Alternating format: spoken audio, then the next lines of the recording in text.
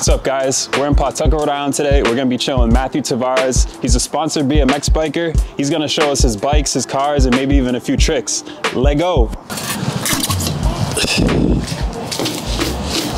So I got a hard top on this. They're pretty hard to find a hard top for these cars. Mm-hmm. So I ended up built, putting a, a little rack on it, a little Yakima rack. So I only put one of them instead of two. And there's a luggage rack. This is for extra luggages. Okay. So basically, I just connected both together, and it worked out pretty smooth. So I haven't really So- seen most people who do that. So I mean, it's always a first for something. So No, that's sick, dude. yeah, thank you. I've never seen like a car driving around with the BMX bike on. Yeah, should see my e-bike on later.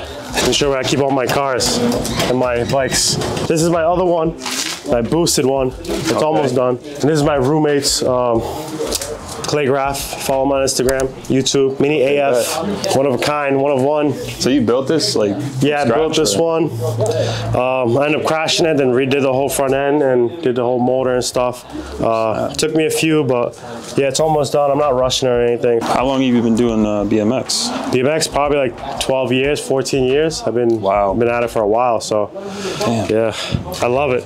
Uh, Claygraph, the one that does the mini, he, we did the powder coating. It's like a paint job, but instead of painting it, you spray with dust and it, it like magnetizes into the frame, Okay. onto the metal, and you heat it up on an oven. And it just it comes out like this. It matches my car, so that's why I did it. I got my e-bike right here, my Sur-Ron.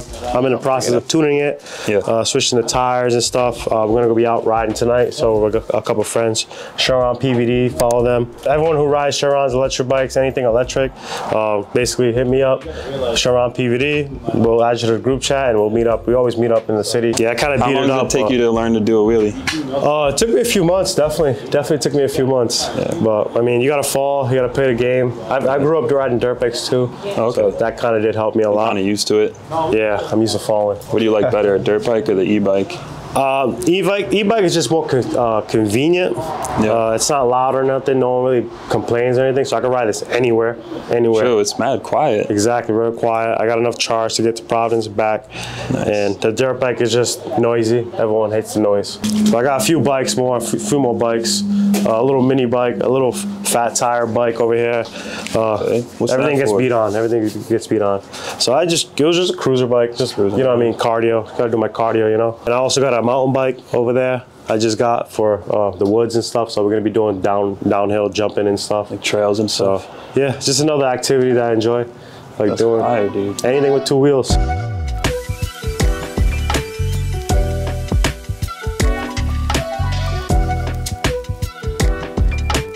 So what's going on with this engine over here? So I have a turbo on it, turbo system.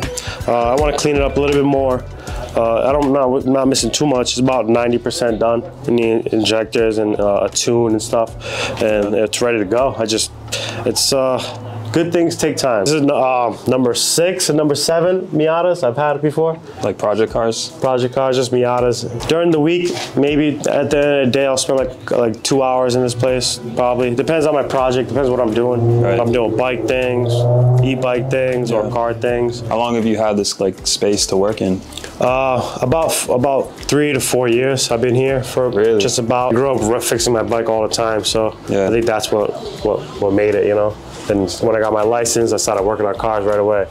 So That's smart. it's culture. If you enjoy it, go do it. You know. I can show you what's in the inside where uh, where I do the the digital stuff, the uh, computer stuff.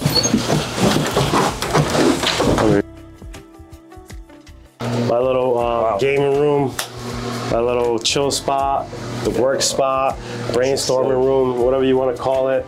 This is where I do all my stuff for digital media. So you do your own like videos and everything? I do my own videos. I try to do my own filming. I have cameras, my 360 cameras, regular, regular cameras. Got the acoustic treatment up? Yeah, I did all that a couple years ago. I did the lighting. Thank you to Jake, my buddy Jake too. He gave me these uh, housing for the LED, so it works out pretty well. So this is where like you brainstorm your ideas on the whiteboard and stuff? Yeah, I write it down. I go from there. This desk, actually, I built it when I first moved here. You built this I desk? built this whole desk, yeah. Uh, I ended up framing it in, in here. I had to do everything in here because it was too big. I ended up doing um, stain and um, poly right on it. So dual monitor setup. Got the game. I don't know what it's called. This thing. Oh, Kendama? Yeah, yeah. nah, it's been way too long. That's why I stopped doing this.